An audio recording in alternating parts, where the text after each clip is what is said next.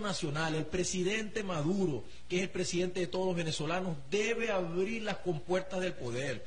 Presidente Maduro, salga de esas cuatro paredes leguleyas en las cuales se está soportando usted y su gobierno hoy en día.